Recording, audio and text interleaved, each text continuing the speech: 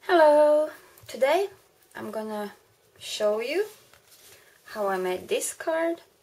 It's a horsey card with a little bit of bling bling. As you can see, onnittelut means congratulations. And this card I made for my boyfriend's mother. She has a horse and she likes horses. She likes dogs as well. She has two dogs.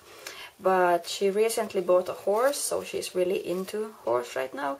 And uh, her horse is brown. It looks a bit like that one, I think, or maybe that.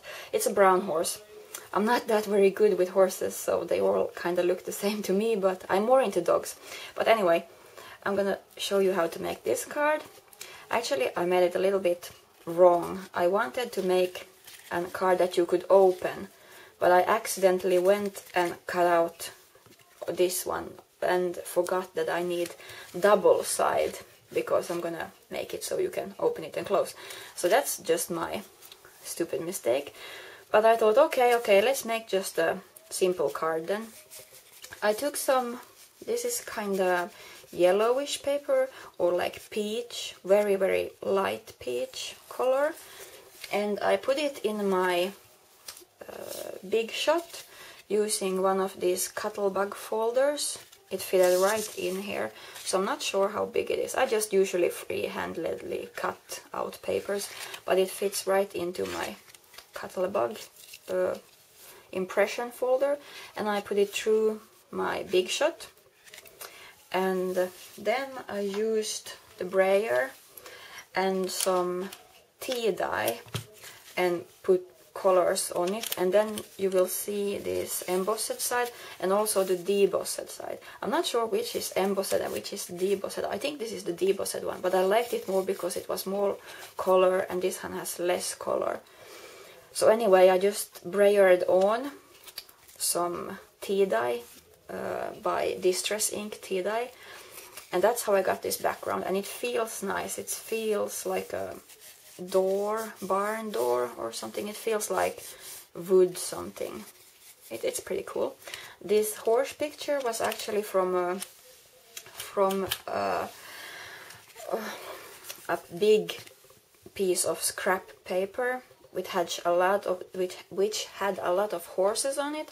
So I just cut out this picture, designer paper, this uh, designer paper, not scrapbook paper. Oh, you could have it for scrapbooks.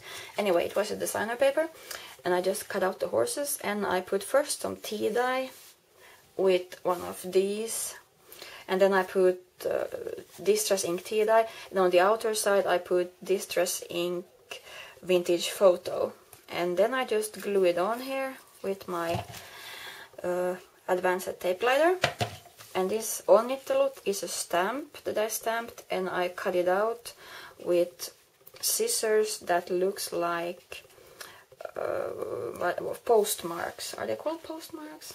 Post stamps. Post stamps. You know those things you put on the envelopes.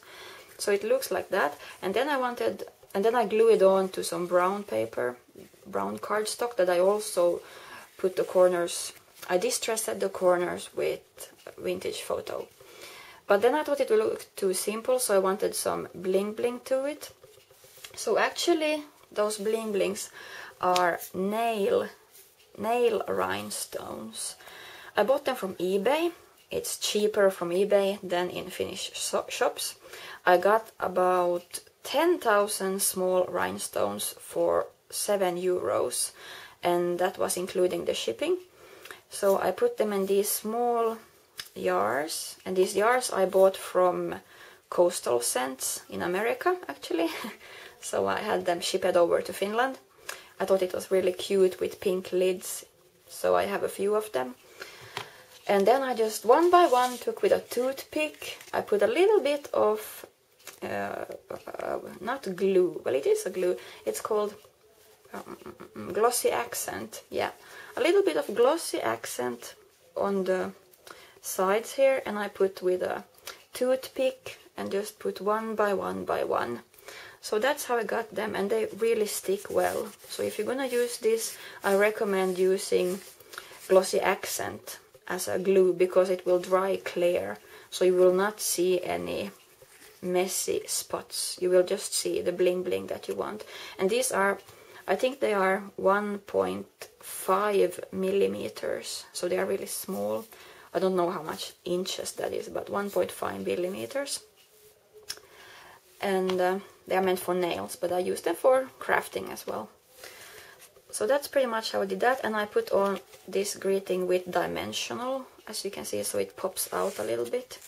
Then I put some eyelets here and this ribbon and then I just put a bow here and the same thing on the back side it continues. So it's like a ribbon on the ribbon continues and I put the bow here and the same thing here this is just it was white paper I cut out with Fiskars it called decal decal I don't know what decal means but it looks like it's been ripped by hand or it's really not straight it's really crooked cut.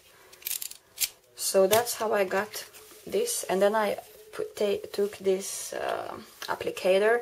It had tea dye on it and I just smear it on so it, it became a little bit brownish.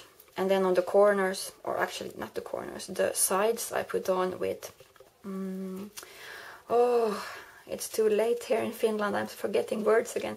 I put on with distress ink vintage photo. So that's why the sides are a little bit darker.